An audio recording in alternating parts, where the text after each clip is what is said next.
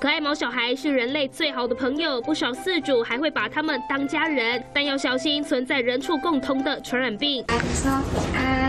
彰化一名十一岁女童高烧三十九点七度到医院急诊，还出现咳嗽、流鼻涕、频尿等症状，而且尿液浑浊有异味。进一步检查发现确诊新冠肺炎，合并梅浆菌感染，还有左侧腮窦鼻窦炎。妈妈吓坏了，心想怎么会这样？因为狗狗就很可爱，然后它就比较活泼这样。我女儿她本身就是常常就是东抓抓那个红豆菌的那个表，你知道吗？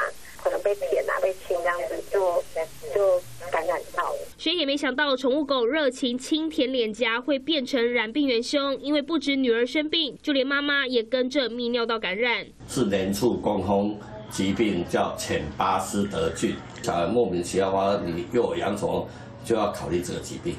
医师表示，犬巴斯德菌主要寄生在猫、狗、禽类、啮齿动物的口腔、鼻咽、呼吸道及肠胃道。临床发现较少传染给人类，通常是因为动物抓伤、咬伤或亲密接触引发伤口或软组织感染。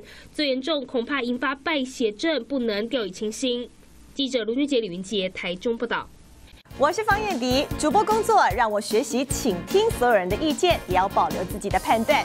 也许我们无法踏遍所有土地，但能从新闻里看尽每一道风景。我是方艳迪，请您锁定中视 YouTube 频道，记得要按赞、订阅、分享，开启小铃铛哦。